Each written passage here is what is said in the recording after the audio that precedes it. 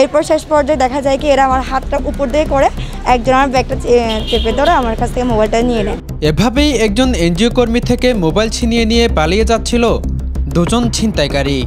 কক্সবাজার শহরে ছিনতাইয়ের ঘটনা এখন নিত্যনৈমিত্তিক ঘটনা। কিন্তু ঘটনাগুলো প্রায়শই ঘটে রাতের অন্ধকারে। এই ছিনতাইয়ের ঘটনাটি একেবারেই ভিন্ন। ভোরের আলো ফুটতেই এনজিও কর্মী এবং বিভিন্ন চাকরিজীবীদের টার্গেট করে ছিনতাইয়ের ছক্কসে তারা।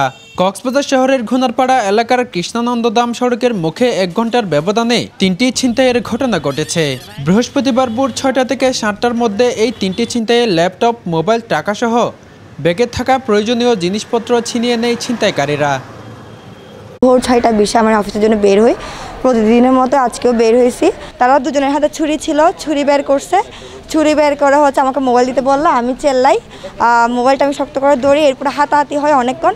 আমাকে এক পাশ থেকে অন্য পাশে হাতাহাতি করতে নিয়ে আসে, একদম টেনে হিসড়ে নিয়ে আসে, তারপর আমি মোবাইলটা ছাড়ি নাই।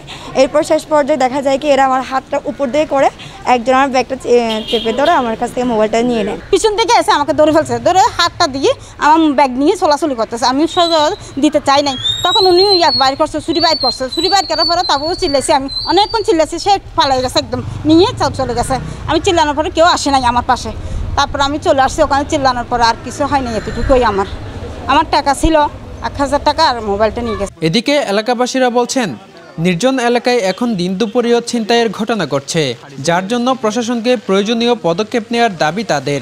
আমরা চাই প্রশাসন এই নিয়ে ইয়া করুক যে যেসব জায়গায় নিস্তব্ধ আছে ওইসব জায়গায় অন্তত যেসব সকাল টাইমে যে ভোট টাইমে যেটা যে ভোট টাইমে সবাই ঘুমিয়ে পড়ে সবাই নিস্তব্ধভাবে ঘুমিয়ে পড়ে ওই ওই জায়গায়। হচ্ছে তারা যদি প্রশাসনের কোনো যদি সিভিল ড্রেসে যদি তাদের ধরার জন্য কোনো যদি সাপোর্ট দেয় তাহলে হয়তো প্রশাসনিকভাবে যদি সাপোর্ট যদি পাই তাহলে আমাদের এই ছিনতাই থেকে আমাদের দেশটা কক্সবাজার জেলা রক্ষা হবে। হলো এটা কিন্তু আসলে আমাদের প্রশাসনের ব্যর্থতা, আমাদের জনপ্রতিনিধি যারা আছে তাদের ব্যর্থতা, কারণ আমরা সবাই দিন দিনের শুরুতে কাজের জন্য পেটে দেয়, অবশ্যই যাব।